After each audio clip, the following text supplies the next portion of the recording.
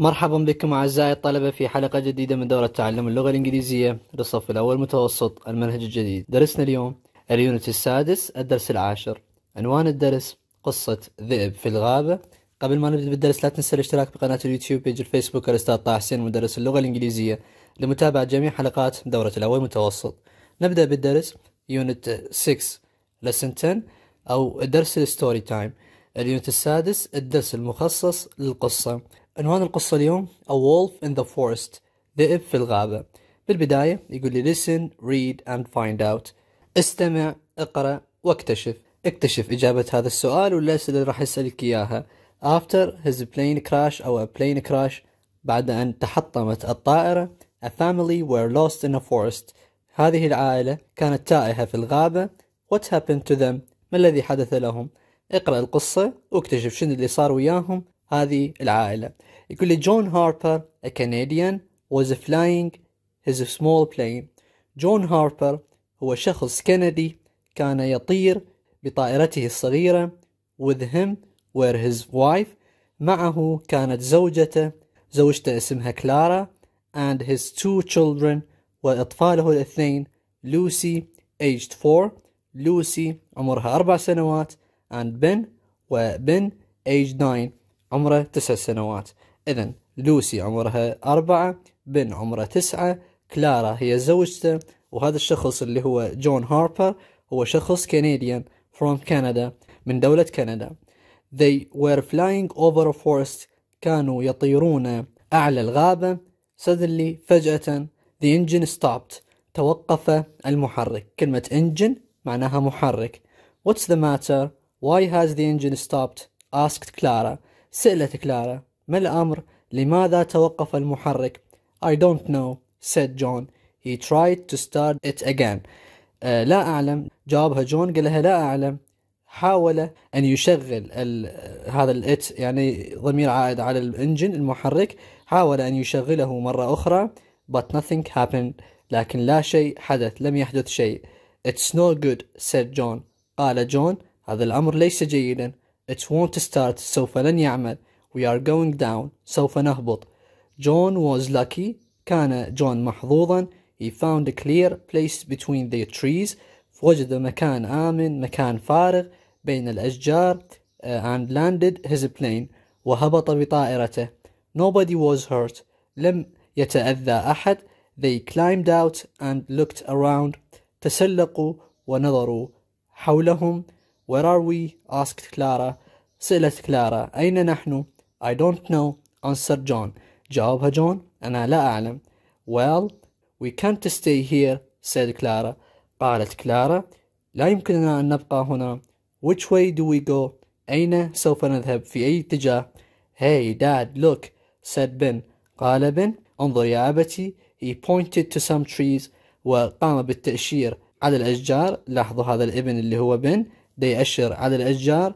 لاحظوا وجود ذئب. There is a big dog up there near the trees. هنالك كلب كبير. هنالك بالقرب من الأشجار. That's not a dog. ذلك ليس كلب. It's a wolf. إنه ذئب. Said John. قال له جون أو الأبو. قال له ترى هذا مو كلب. هذا ذئب. Is it dangerous? Asked Clara. سألته كلارا اللي هي زوجته. هل هو خطير؟ No said John. Wolves don't hurt people. قال لها كلا الذئاب لا تأذي الناس. The wolf came towards them جاء الذئب باتجاههم then moved away ثم تحرك بعيدا.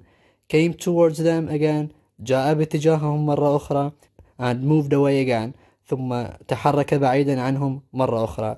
I think he wants us to follow him said Ben. قال بن أعتقد بأنه يريدنا أن نتبعه. Well I don't know. Where, where we are قالها حسنا نحن لا نعلم أين نحن maybe he does لكن هو ربما يعلم أين نحن said John let's follow him دعونا نتبعه they followed the wolf through the trees تبعوا هذا الذئب بين الأشجار every now and again the wolf stopped and looked at them في بين حين وآخر كان يقف هذا الذئب وينظر عليهم ليتأكد أنهم موجودين بعده أو خلفه and then moved off again ثم يذهب بعيدا مرة أخرى. After about two hours بعد حوالي ساعتين they came to a road جاءوا على طريق just off the road was a village.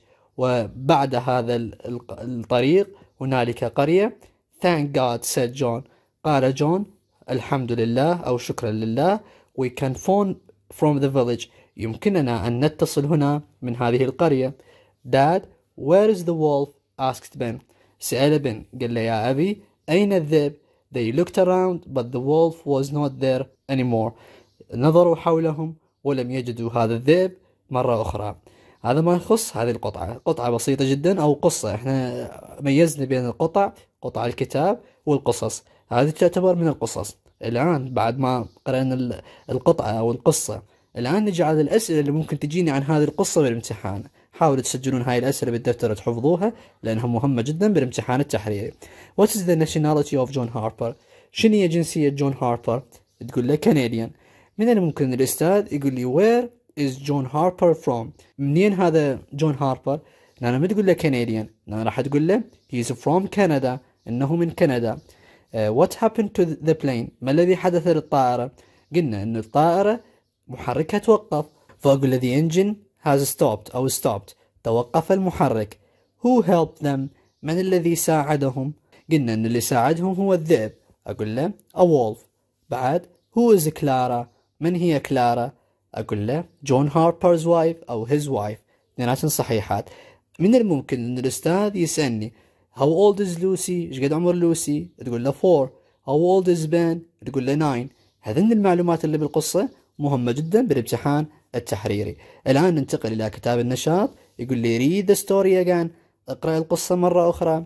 Close your student's book. ثم أغلق كتاب الطالب and rewrite the sentences correctly.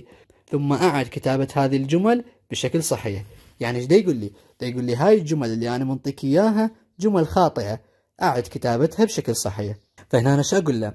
كمثال النقطة الأولى. John Harper was sailing his boat. جون هاربر كان يبحر بقاربه. ذكرنا بالقطعة أنه جون هاربر كان يطير بطائرته الخاصة فأقول له جون هاربر was flying his plane أو his small plane. كان يحلق بطائرته الخاصة. Suddenly فجأة the plane caught a fire. الطائرة احترقت. هذا الكلام صحيح؟ قلنا إنه اللي صار وياهم إنه توقف المحرك. أقول له suddenly فجأة the engine has stopped. توقف المحرك. Uh, the family knew how to get home. العائلة علمت كيف تذهب إلى البيت. كانت تعرف شلون ترجع للبيت. ذكرنا إنهم قال إحنا ما نعرف وين موجودين. فأقول له the family didn't know لم يكونوا يعرفوا how to get home. لم يعرفوا كيف يعودوا إلى البيت. أو أقول له didn't know where they were. لم يكونوا يعرفوا أين كانوا هم بالضبط. The wolf wanted to hurt the family. الذئب أراد أن يؤذي العائلة. ذكرنا بالقصة أنه الديب إجاهم على مود يساعدهم فأقول له the wolf wanted to help the family. الذئب أراد أن يساعد العائلة. أنا hurt يؤذي help يساعد. The family ran away from the wolf. العائلة هربت من الذئب. ذكرنا بالقطعة أنه العائلة اتبعت هذا الذئب. فأقول له the family مو run away.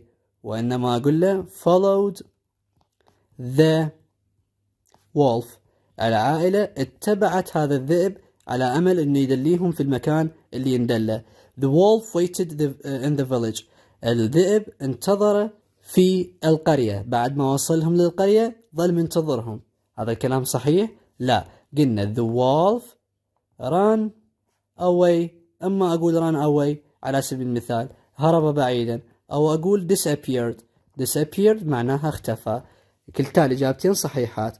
إذا هرب بعيدا أو أقول went away ذهب بعيدا أو أقول disappeared اختفى. هذا ما يخص تمرين رقم واحد. هذا التمرين من الممكن أن الأستاذ يستغله أو يجيب لك من إحدى هذه الجمل ويقول لك true أو false أو يصحح الجملة ويقول لك true or false. فأنت لازم تعرف الجمل الصحيحة والجمل الخاطئة والخاطئة تعرف شلون تصححها إذا طلبها من عندك الأستاذ إنك تصححها. هذا ما يخص تمرين رقم واحد إذا هو تمرين مهم متعلق بالقصة اللي أخذناها. تمرين رقم اثنين answer the questions. أجب على الأسئلة التالية. شي يقول لي؟ يقول لي who are the characters of the story? من هم شخصيات القصة؟ ذكرنا أن شخصيات القصة اللي هم جون هاربر اللي هو الأب آه، كلارا اللي هي زوجته لوسي وبن اللي هم أولاده. What is the story about عن ماذا تتحدث القصة. هنا بشكل مختصر الطالب يذكر شنو اللي تحكي عن القصة. About John Harper and his family. عن جون هاربر وعائلته who were lost in the forest. الذين كانوا تائهين في الغابة إلى آخر القصة. هنا يقول لي the title. شنو عنوان القصة؟ ذكرنا أن عنوان القصة A wolf in the forest. ذئب في الغابة. Why I liked didn't like the story. لماذا أعجبتني القصة؟ مثل ما تعودنا بالوحدات السابقة أن الطالب إذا عجبته القصة يقول I liked the story. أو إذا ما عجبته القصة I didn't like the story. وينطي السبب إذا عجبته أو ما عجبته وهنا النيو ووردز الكلمات الجديدة اللي تعلمتها بالقصة على سبيل المثال تعلمنا كلمة انجن انجن معناها محرك lost تائهين إلى آخر القصة إلى آخر الكلمات مثلا wolf ذئب إلى آخر الكلمات. هنا مجرد الطالب يكتب الكلمات اللي تعلمها من خلال هذه القصة. ما كان يعرفها سابقا وتعرف عليها من خلال هذه القصة. هذا التمرين رقم ثلاثة تمرين مجرد نشاط صفي غير مهم بالامتحان التحريري أو الامتحان الشفوي. كذلك تمرين رقم اثنين لأن إحنا اتفقنا سابقا أنه مثلا بالامتحانات الشاملة امتحان نصف السنة أخير السنة لما يقول لي who who are the characters of the story منهم شخصيات القصة لازم يحدد يا قصة بالضبط لأن إحنا عندنا أكثر من قصة. لذلك نادرا يجي هيك سؤال بالامتحان التحريري مجرد نشاط صفي. هذا كل ما يخص درسنا لهذا اليوم لاحظنا أنه درس بسيط جدا قصة بسيطة جدا كلماتها بسيطة أسئلتها سهلة تنحفظ بسرعة. أخذنا الأسئلة المتعلقة بها الصح والخطأ اللي ممكن تجي بالامتحان عرفنا شلون نصحح الخطأ بعض الجمل خاطئة أو شلون نصححها. وقلنا إنه هذه القصة مطلوبة بالامتحان التحريري بالسؤال المخصص للقصص. حاولوا تكتبون هذه الملاحظات بالدفتر وتحفظوها لأنها مهمة جدا بالامتحان التحريري. ختاما شكرا لمتابعتكم للفيديو. أي سؤال أو استفسار أو إضافة تحبون تقدموها تقدرون تتواصلون على حسابات الموجودة في الفيديو. في الوصف.